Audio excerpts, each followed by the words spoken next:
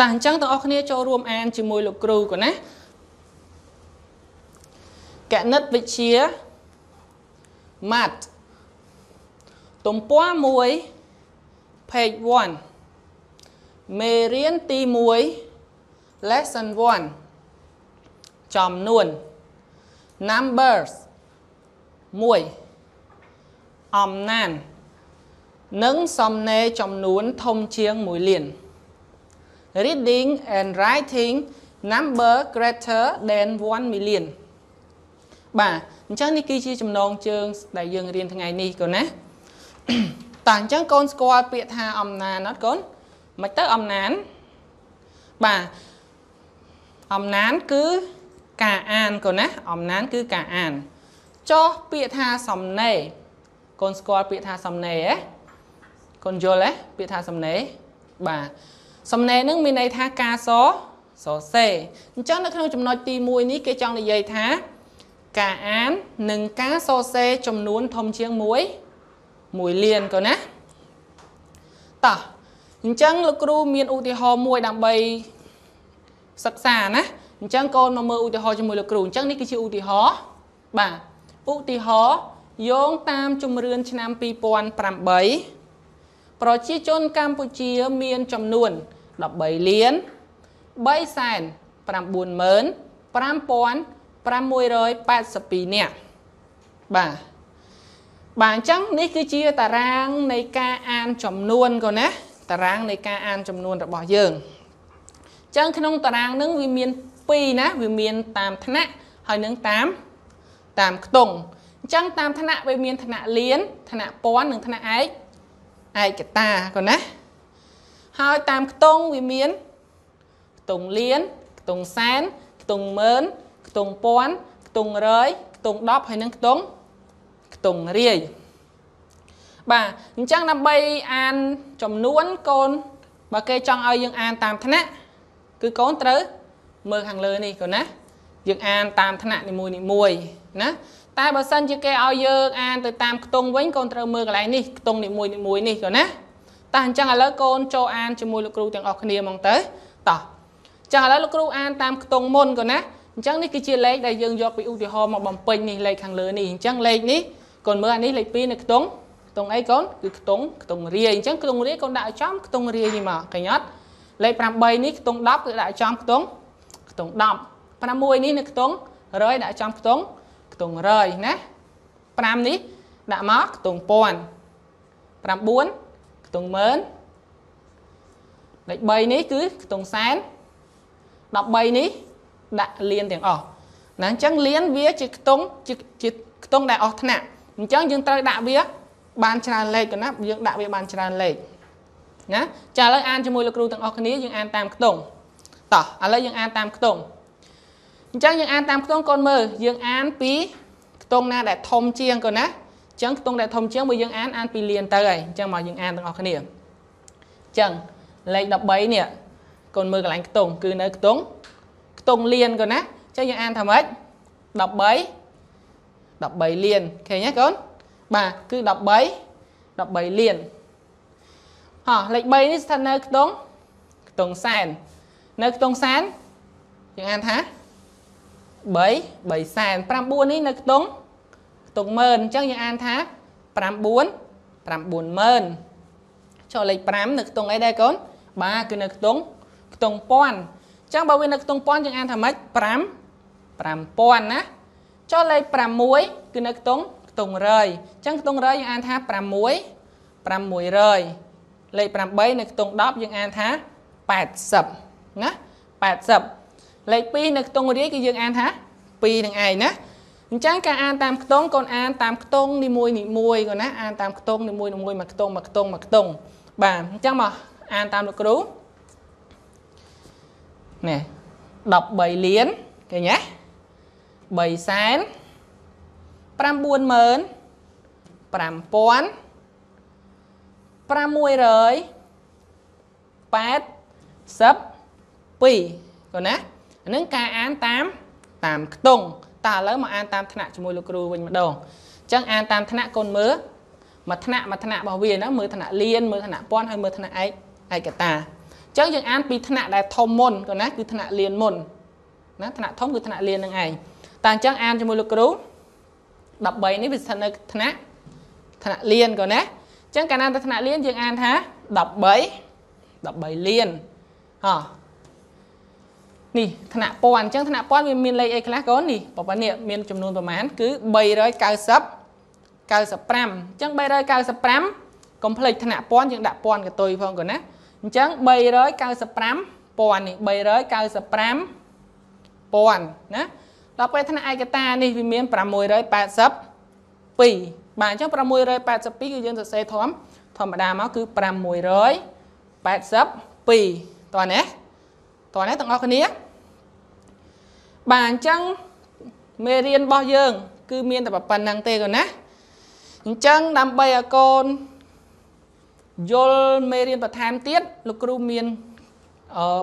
ពាក្យកលឹះមួយចំនួនណា ដើម្បីឲ្យកូនស្វែងយល់បន្ថែមតកតងទៅនឹងមេរៀនហើយនឹងលំហាត់អនុវត្តនៅពេលក្រោយក៏ណាតែអញ្ចឹងទៅមើលពាក្យបាទអញ្ចឹងនេះគឺជាលំហាត់អនុវត្តរបស់យើងក៏ណា អញ្ចឹងកូនចូលរួមធ្វើនឹងជាមួយនឹងលោកគ្រូទាំងអស់គ្នាក៏ណាតោះអញ្ចឹងកូនមើលលំហាត់អនុវត្តអញ្ចឹងវាមានចំណុចលេខ1និងចំណុចលេខលេខ2អញ្ចឹងលេខ1ក៏ឲ្យធ្វើអីកូនចូលសរសេរពាក្យអានចំនួនតាមខ្ទង់និងតាមតាមថ្នាក់អញ្ចឹងវាមានកនិងនិងខអញ្ចឹងក្នុងកនិងខហ្នឹងគេឲ្យយើងសរសេរមិនកនេះគេឲ្យយើងសរសេរតាមខ្ទង់ផងនិងតាមថ្នាក់ផងក៏ណាខក៏ដូចគ្នា តាមខ្ទង់ផងហើយនិងតាមឋានៈឋានៈផងហ៎ចំណុចទី2គេឲ្យយើងចូលសរសេរចំនួន នៃល្បះខាងខាងក្រោមអញ្ចឹងន័យថាខាងក្រោមនេះគឺជាល្បះហើយល្បះកល្បះខអញ្ចឹងគេឲ្យល្បះកនឹងសរសេរទៅជាលេខវិញណាល្បះខនឹងសរសេរជាលេខវិញណាតោះអញ្ចឹងទៅធ្វើជាមួយនឹងលោកគ្រូទាំងអស់គ្នាតោះបាទអញ្ចឹងនេះគឺជាចំចំឡើយមកចំណុចទី1ក អកយើងអានតាមតាមខ្ទង់មុនអញ្ចឹងកូនមើលកន្លែងនេះបន្តិចណាអានតាមខ្ទង់កអានតាមខ្ទង់តោះអញ្ចឹងការអានតាមខ្ទង់កូនអានពីណាមកគឺតាមពីថ្នាក់សំទោសពីខ្ទង់ដែរដែលធំទៅមុនកូនណាតោះអញ្ចឹងមើលកន្លែងនេះលេខប្រមាណកូនលេខ3លេខ3ស្ថិតនៅខ្ទង់អីដឹងទេបើមិនដឹងយើងរាប់ចេះរាយ10រយពាន់ម៉ឺនសែនលានណា ចឹង3ស្ថិតនៅខ្ទង់ខ្ទង់លៀនបាទអញ្ចឹងនៅខ្ទង់លៀនយើងសរសេរថាម៉េចតោះទៅមើលមួយលោកគ្រូអញ្ចឹងសរសេរយ៉ាងម៉េចបាទគឺសរសេរថា3 3លៀនតោះសរសេរថា3 3លៀននេះសរសេរថា3 3លៀនហោះបន្តមកទៀតបន្តមកទៀតលេខលេខ2លេខ2ស្ថិតនៅខ្ទង់អីកូនស្ថិតនៅខ្ទង់បាទលេខ2នេះគឺស្ថិតនៅខ្ទង់សែន ចឹងស្ថិតនៅខ្ទង់សែនយើងទៅសេថា2 2សែនតាសេមួយលោកគ្រូមកនេះ2 2សែនកូនណាបាទបន្តមកទៀតលេខលេខ5លេខ5ស្ថិតនៅខ្ទង់អីដែរគឺនៅខ្ទង់ម៉ឺនបាទស្ថិតនៅខ្ទង់ម៉ឺនយើងអានថា50000ណាយើង50000យើងទៅសេមក50000នេះ50000ឃើញទេ បាទមួយទៀតលេខប៉ុន្មានណាកូនលេខ6លេខ6ស្ថិតនៅខ្ទង់អីគឺខ្ទង់ពាន់បាទកាលណាវាស្ថិតនៅខ្ទង់ពាន់យើងអានថាម៉េចកូនអានថា6ពាន់តោះអញ្ចឹងសរសេរ6ពាន់នេះ5 1000បាទចិត្តអស់ហើយតាតិចទៀតអញ្ចឹងនេះលេខប៉ុន្មានគឺលេខ8លេខ8ស្ថិតនៅខ្ទង់ខ្ទង់រយកូនណាអញ្ចឹងស្ថិតនៅខ្ទង់រយយើងអានថាម៉េច8 800តោះនេះ800សរសេរមក800បាទ800បន្តមកទៀតគឺលេខ5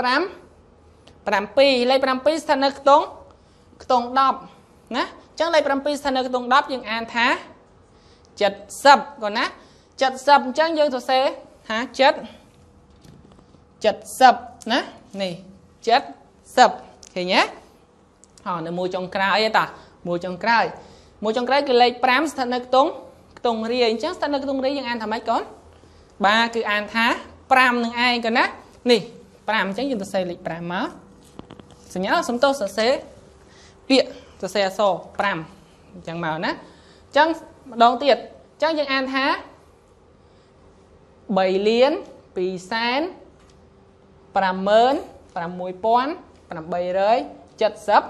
56875អញ្ចឹងអានឹងហើយគេយើងអានតាម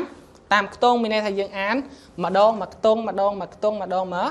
មួយខ្ទង់តោះអញ្ចឹងឥឡូវយើងអានតាមថ្នាក់វិញម្ដងអានតាមថ្នាក់លេខដដែលឯងគ្រាន់ថាយើងបដូររបៀបអានអញ្ចឹងយើងអានតាមថ្នាក់ម្ដងគាត់ណាអញ្ចឹងអានតាមថ្នាក់គឺយើងអានម្ដងមួយថ្នាក់ម្ដងមកមួយថ្នាក់ហើយយើងអានពីថ្នាក់ដែលធំជាងរហូតទៅថ្នាក់ដែលតូចក៏ណាអញ្ចឹងយើងអានកន្លែងនេះគឺយើងអានពីថ្នាក់លៀនទៅមុននេះអញ្ចឹងកូនមើលមួយខ្ទង់វាមានមួយថ្នាក់វាមាន3ខ្ទង់នេះនេះមួយថ្នាក់នេះនេះថ្នាក់អីគេកូនថ្នាក់ឯកកតាអានេះថ្នាក់អីដែរនេះនេះនេះនេះគឺថ្នាក់ពាន់ណាចាអានេះទៅនេះគឺថ្នាក់តែលេខ3ទៅនោះគឺថ្នាក់លៀនបាទអញ្ចឹងយើងអានពីថ្នាក់លៀនមកមុនតែអញ្ចឹង3នៅស្ថិតនៅក្នុងថ្នាក់ថ្នាក់លៀនក៏ណាអញ្ចឹងយើងអានថាម៉េចមកគឺអានថា3 3លានតាទៅមើលមួយលោកគ្រូនេះ3 3លានឃើញទេបាទគឺ3លានបន្តមកទៀតយើងអានតាមថ្នាក់អានមួយថ្នាក់មួយថ្នាក់អញ្ចឹងនេះនេះដល់ឯងថ្នាក់អីហ៎កូនគឺថ្នាក់ពាន់បាទអញ្ចឹងថ្នាក់ពាន់វាមានប្រមាណចំនួនប្រមាណដែរ255 6 256អញ្ចឹងថ្នាក់ពាន់យើងអានថាម៉េច256ពាន់ណាអញ្ចឹង256ពាន់តាទៅមើលមួយលោកគ្រូនេះ200 56,000នេះ256,000បាទណោះនៅមួយថ្នាក់ចុងក្រោយទៀតថ្នាក់អីគេកូនគឺថ្នាក់ឯកឯកតាអញ្ចឹងថ្នាក់ឯកតាយើងអានយ៉ាងម៉េចបាទគឺយើងអានធម្មតាមកមានចំនួនប៉ុន្មានកូន870 75អញ្ចឹងយើងអានទៅមក875នេះមក870 5 5 375តើណាកូន បាទតោះឥឡូវយើងចប់នៅ ចំណុចកហើយឥឡូវចូលដល់ចំណុចខចំណុចខគឺយើងធ្វើដូចគ្នាអញ្ចឹងកូនណាតោះយើងធ្វើដូចគ្នាអញ្ចឹងជាដំបូងលោកគ្រូអានទៅតាមខ្ទង់មុនសិនកូនណាអានតាមខ្ទង់មុនសិនណោះអញ្ចឹងលេខ4នេះស្ថិតនៅខ្ទង់អីដែរកូន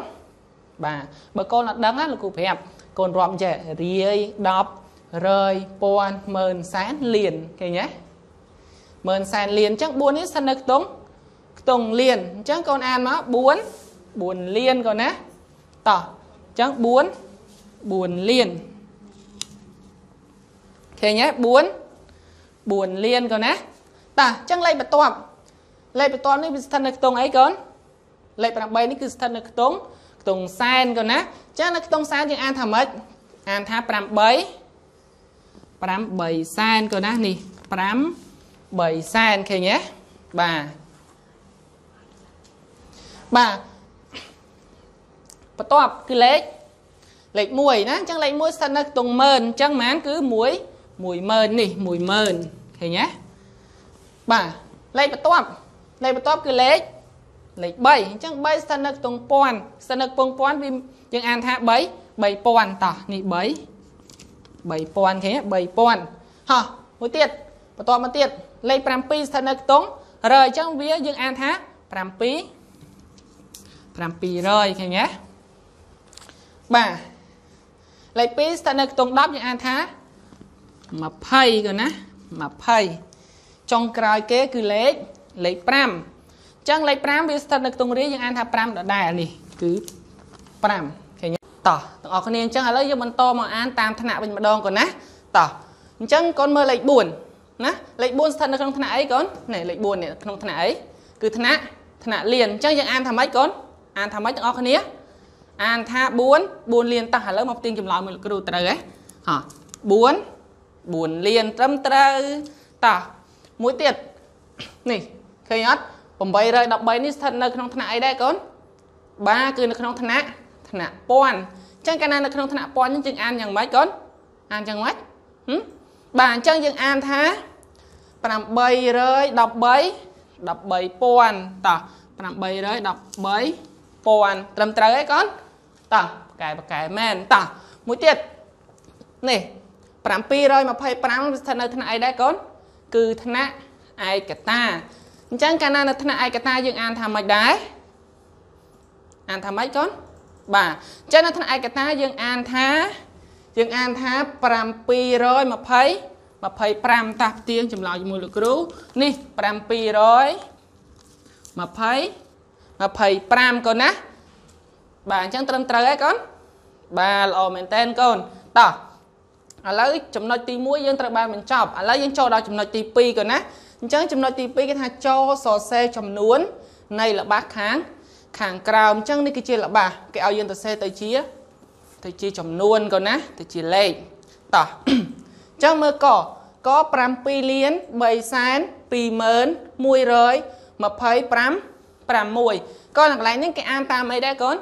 គេអានតាមតាមខ្ទង់កូនណាប៉ុន្តែកូនសង្កេតមើលឃើញបាត់ខ្ទង់អីមួយគឺបាត់នៅខ្ទង់ខ្ទង់ពាន់អញ្ចឹងកាលណាបាត់ខ្ទង់ពាន់គឺយើងដាក់លេខលេខ0តាំងអញ្ចឹងទៅធ្វើជាមួយលោកគ្រូទាំងអស់គ្នាមក7លានអញ្ចឹង7លានយើងទៅសេលេខ5 7ណាហោះទៀត3សែនណា3សែនលេខបន្ទាប់ទៀតមក3សែនសេលេខ 3ឃើញណាហោះបន្តមកទៀត20000 20000តោះសេលេខ2ហោះទៀត1 100អញ្ចឹងកន្លែងនេះ10000ហើយគេកូន10000ហើយពាន់អញ្ចឹងវាបាត់ខ្ទង់ពាន់ណាអញ្ចឹងយើងកន្លែងពាន់ហ្នឹងគឺដាក់លេខលេខ0ឃើញណាតោះមួយទៀត1 100អញ្ចឹងមានន័យយើងទៅសេលេខ1ណានេះហោះតមកទៀត25 6តោះ អញ្ចឹងសេលេខ25 6តោះនេះកូនទាំងអស់គ្នាតោះអញ្ចឹងឥឡូវយើងឈានចូលទៅដល់ចំណុចខចំណុចខគេដាក់ថា4លាន680ពាន់45 48អញ្ចឹងនេះគេអានតាមតាមអីដែរកូនបាទគឺគេអានតាមថ្នាក់បាទគេអានតាមថ្នាក់តោះអញ្ចឹងធ្វើជាមួយលោកគ្រូមក4លានហ៎សរសេរ4លានមក 680ពាន់បាទអញ្ចឹងសរសេរ680បាទហ៎អ45 3អញ្ចឹង48នេះយើងដឹងថាមកក្នុងថ្នាក់មួយថ្នាក់វាមាន3 3ខ្ទង់ឃើញទេអញ្ចឹងកន្លែងនេះ48វាមានតែ2អញ្ចឹងកន្លែងនេះវាបាត់ខ្ទង់អីខ្ទង់រយឃើញទេអញ្ចឹងយើងកន្លែងណាបាត់ខ្ទង់គឺយើងដាក់លេខលេខ0អញ្ចឹងប៉ុន្មាន0 40 5 8តោះនេះទាំងអស់គ្នា បាទល្អកូនណាបកកាយបកកាយមែនតែន